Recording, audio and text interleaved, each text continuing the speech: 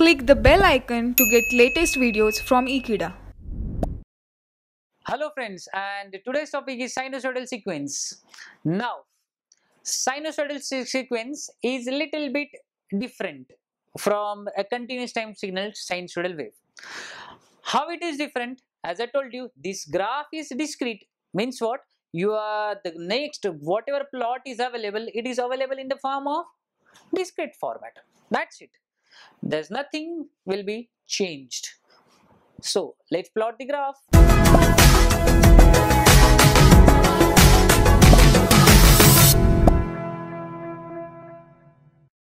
let's say x of t is the function sorry not x of t x of n is the function where your sine wave is represented like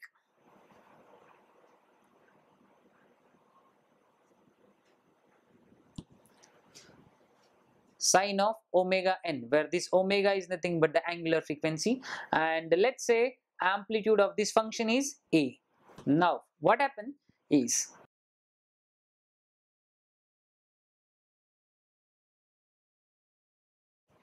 Now what happened is this graph is a discrete graph which means the function is looks like a sine wave but it is not a continuous it is a discrete. Discrete means what? I'll draw it by dotted line first so that you, you will understand this concept.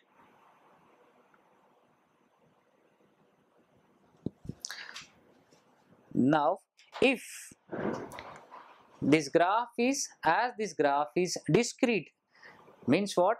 The samples is available only for a particular period of time. So let's say these are the samples